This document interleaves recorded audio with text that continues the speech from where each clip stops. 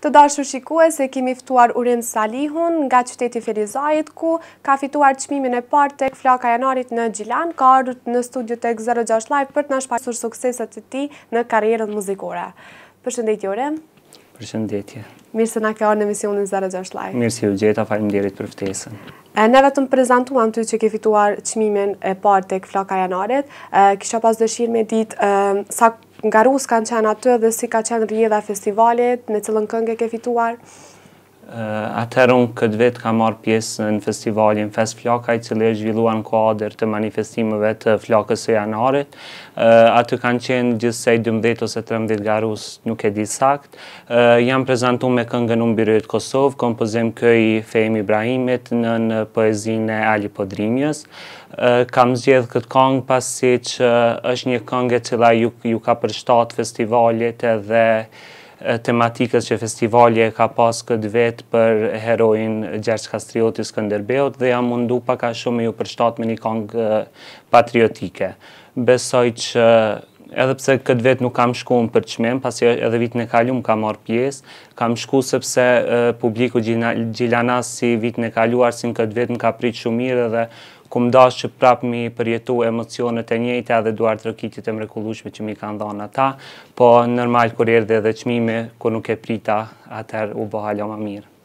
Pra përmende që ke marrë pjesë edhe vitin e kaluar, dy vite, ka pasur pjesëmarrje edhe jashtë tyre dy vite, edhe vitet tjera? Në fakt, ky është viti i tretë, kam marrë pjesë edhe para 3-4 viteve, me këngën pranvera filloi me ardhë, ndërsa vitin e kalum, kam marrë pjesë me këngën e poçarit. Të jem realist, vitin e kalum, ndoshta duke e pa se konkurrenca ka qenë pak më e vogël, kam prit me marrë një çmim, po Ja që juria nuk ka mendu njejt, po sidoqoftë, si publiku, si ftyrat e njohura publike, e kanë prit shumë mirë atë prezantim timin, bile disa nga ta edhe e kanë shpërnda në Facebook, ku më kanë motivu si artist i ri, që të marr pjesë dhe të vazhdoj tutje me muzikë.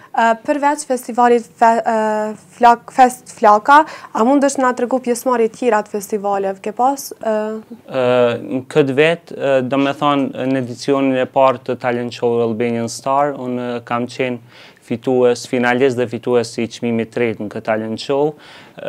Gjithashtu kam marrë pjesë edhe në disa talent show tjerë, siç është X Factor Albania, ku kam arrit deri në fazën e dytë të bootcampit.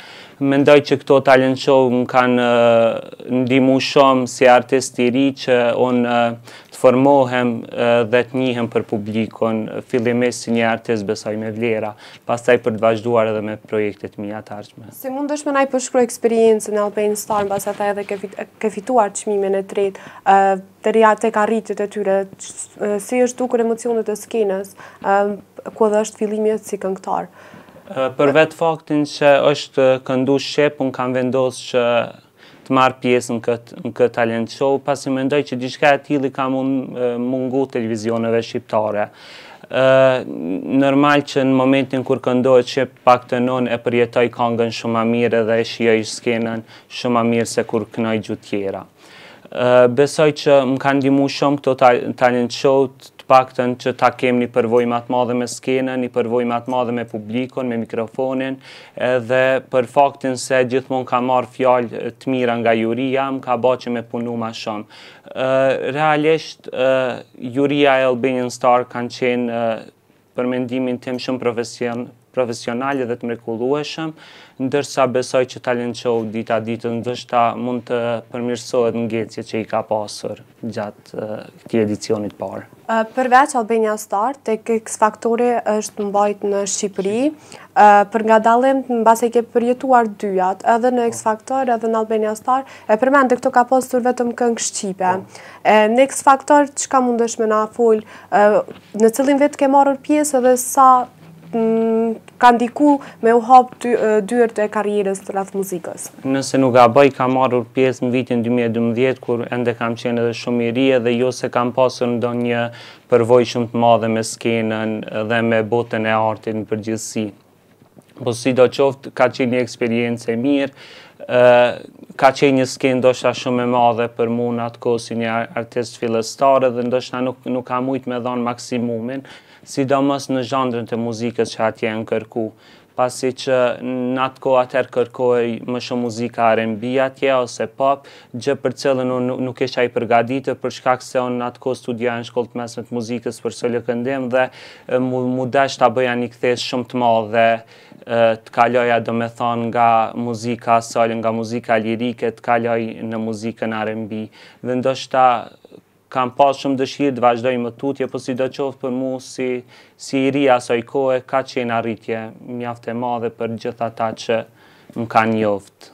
Pas këtyre sukseseve, eksperienca të ndryshme, tash çka pretendon për muzikë, ndonjë projekt juaj personal ose ndonjë bashkëpunim, planet e tua rreth muzikës?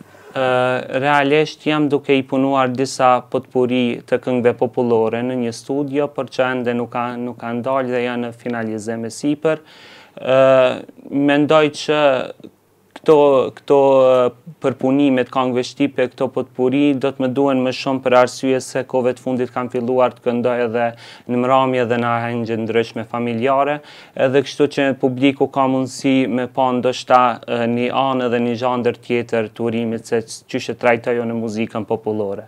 Gjithashtu plan tjetër është se jam ftuar në një festival në Bullgari për ta përfaqësuar Kosovën në një festival të muzikës pop rock, po jemi ende në bisedime me producentët e festivalit dhe nëse janë kushtet dhe mundësitë, pse jo, do të ishte nder dhe kënaqësi për mua me përfaqësu shtetin tonë.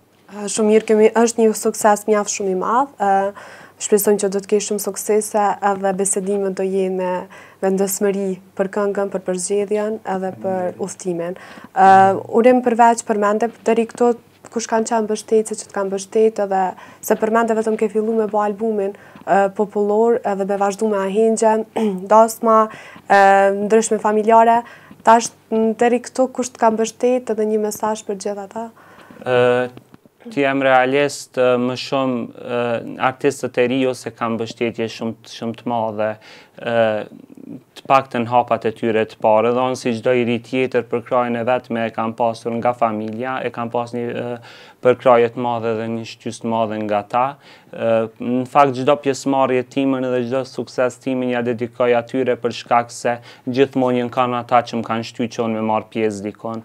Se ndoshta ndonjëherë vetëbesimi e bën të vetën edhe nuk ki mjaftueshëm vetëbesim për me qenë pjesëmarrës dikun, po me shtysën e tyne Unë i kom arrit këto suksese që i kam deri tash. Patjetër që duhet ta cek që mbështetës tjerë kanë qenë edhe profesorët e shkollës muzikës ku unë kam përfundu shkollën e mesme.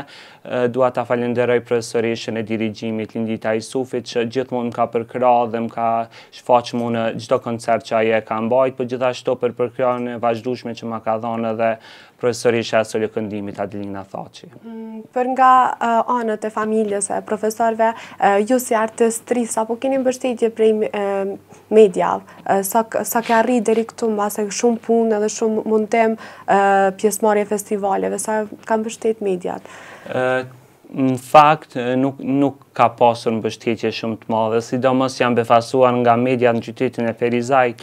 Një artist nga qyteti i Ferizajt shkon dhe merr një çmim të parë në një festival mbarëkombëtar, qysh ka qenë Flaka e Janarit, edhe nuk nuk e ka, nuk ftohet në asnjë intervistë ose nuk bahet asnjë shkrim i i gazetave në qytetin e Ferizajt për atë artist, ndërsa bahet për çmimet e dyta ose çmimet e treta që artistët e Ferizajt i kanë marrë, atëherë për mu kjo nuk është përkrahje. Përkrahja si e mediave, si e institucioneve nuk është nuk është e madhe. Të paktën për mu nuk është nivel, të paktën për mu ka ndodhur kjo. Por sidoqoftë, unë e përmenda edhe më herët, jam ftu pastaj Falë falë sukseseve të mia jam ftu nga njerëz të kulturës, nga njerëz që vërtet e kanë vlerësu muzikën dhe e kanë vlerësu ata çka unë e bëj. Jam ftu në koncerte të ndryshme, siç ka qenë tash gala koncerti i mbajtun në Ferizaj, ku jam ftu nga drejtori i Shkollës së Muzikës Çesk Zadeja, për për t'u prezantuar në atë festival dhe për mu natyrisht që ka qenë nder dhe kënaqësi m'u prezantu në mes emrave të mëdhenj të muzikës shqiptare dhe ferizajase. Ne Urim vërtet t'urojmë shumë suksese me gjithë këto pjesëmarrje të festivaleve dhe gjithë kjo, kjo punë e pandalshme nga ana juaj. po besoj që tani ki me pas mbështetjen e medias, kanë me fillu kur të shohin emisionin tonë 06 live, kanë me fillu emisione tjera me përkrah loka, lokale. mendo, faleminderit shumë që ke gjetë kohë me ardhë në emisionin tonë 06 live, na shpresojmë që ki me pas edhe studio hera tjera me projekte të tuaja personale. Faleminderit shumë, faleminderit ty për ftesën, urime për emisionin dhe ju dëshiroj shumë suksese. Shumë faleminderit. Pra, ishte me ne në studio Urim Salihu, fituesi i çmimit Fest Flaka, çmimit të parë të festivalit Fest Flaka, ne vazhdojnë tutje programin me një blok të shkurtër marketingu dhe kthehemi sërish në studio.